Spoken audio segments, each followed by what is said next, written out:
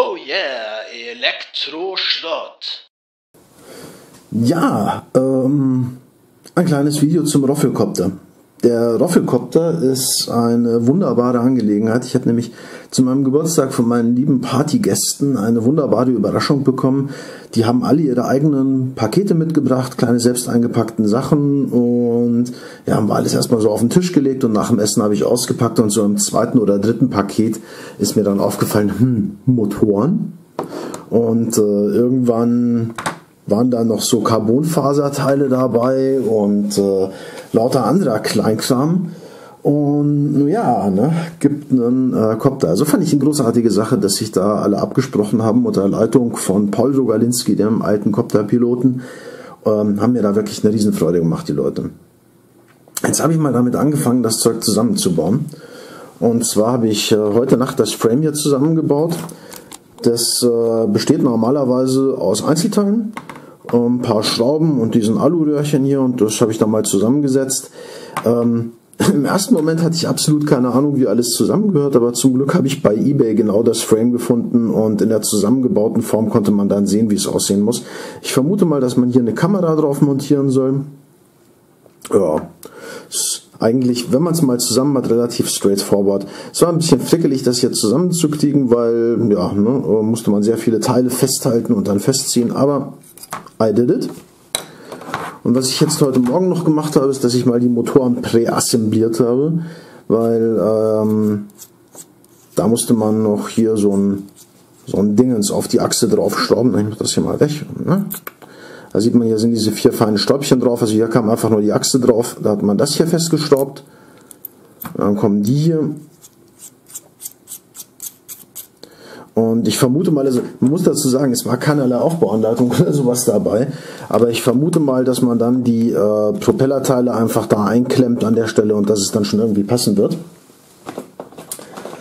Ähm, was ich heute Morgen auch noch getrieben habe, war, dass ich diese, äh, diese Motorcontroller hier ausgepackt habe, diese ESCs. Zu denen ist mir noch was aufgefallen, das werde ich gleich nochmal demonstrieren, da werde ich noch Lösungen finden müssen. Das sind diese Afro ESC, die sind wohl recht gut, mein Paul. Ähm, was ich auch noch habe, sage ich mal, ich habe Akkus, tolles Zeug, oder falsch rum, ähm, ja, von Stefans Lipo Shop. 40C, 80C. 1000 mAh. Ich glaube, das sind ziemlich dicke Dinger. Ich kenne mich mit dem Graffel noch nicht so aus. Ja? Also ich kann im Moment nur raten, dass das Zeug schon ziemlich gut sein wird, weil der Paul schon keinen Scheiß zusammengesucht haben wird. Und was auch noch dazu gehört, äh, sind hier, das ist glaube ich der, der Empfänger für die Fernbedienung. Ja genau, 2,4 GHz Receiver. Das hier ist glaube ich so ein Controllerboard, das ich gar nicht wirklich brauche. Wenn mich nicht alles täuscht, geht hier so ein, so ein Datensignal vom Empfänger rein und am anderen Ende kommen dann irgendwie keine Ahnung, ich glaube so, so acht parallele Leitungen, mit denen man direkt Servos steuern könnte.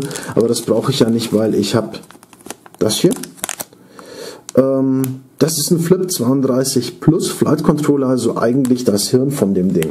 Das ist jetzt für alle Leute klar, die selber so einen, so einen Kopf da haben. Für die, die sowas nicht haben, das staubt man da rein. Das ist im Grunde genommen ein kleiner Computer, wenn man so will. Und ähm, der regelt das Flugverhalten nach, weil so ein Copter hier ist eigentlich keine Sache, die so stabil ist wie ein Papierflieger, dass das einfach von selbst fliegt oder so, sondern ähm, man braucht eigentlich diesen kleinen Computer, der die ganze Zeit Neigung und Winkel und Geschwindigkeit und weiß nicht was alles irgendwie auswertet und nachkorrigiert, damit das Ding stabil in der Luft bleibt, sonst fällt es runter wie ein Backstein.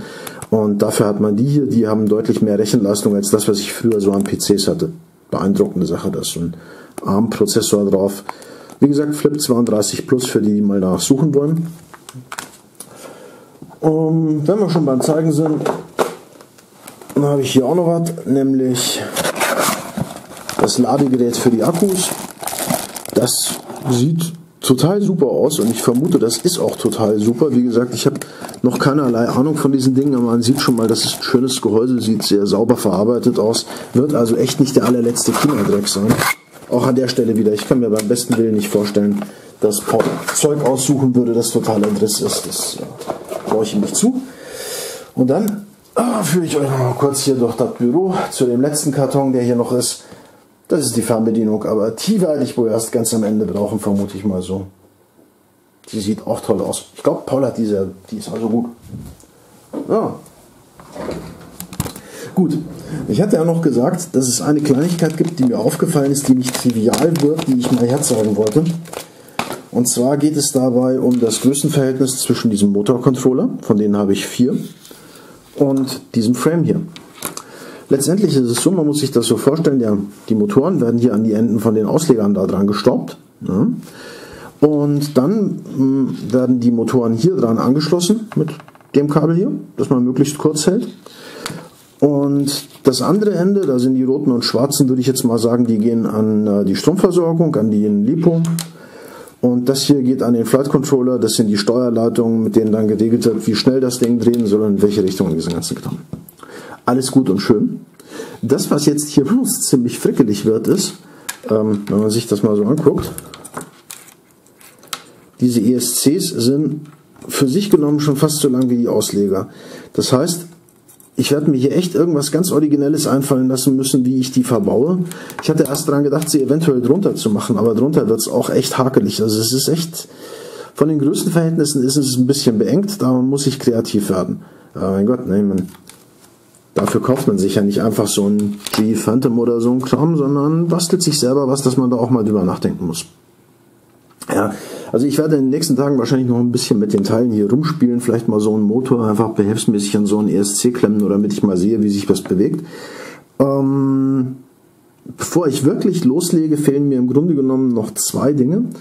Das eine ist ein sogenanntes äh, Power Distribution Board. Das habe ich mir für 2 Euro vom Banggood aus China bestellt. Das ist letztendlich nichts anderes als ein Platinchen, wo man diese ganzen Stromversorgungsdinger hier alle dran klemmt und äh, wo gewissermaßen der Strom von den Akkus zu den ganzen anderen Teilen verteilt wird. Und das zweite, was mir fehlt, ist schlicht und einfach noch ein bisschen Kabelmaterial. Da muss ich nochmal schauen, was ich genau brauche. Ich denke aber mal, wenn ich mich ungefähr an die Kabeldicke von dem halte, was hier ist, dann äh, werde ich da einigermaßen auf der sicheren Seite sein. Das ist 20 AWG. Ja, also nehme ich also auch 20er Kabel oder vielleicht so eine Nummer dicker oder sowas für meine eigene Verkabelung und dann wird das schon passen. Oh. Gut.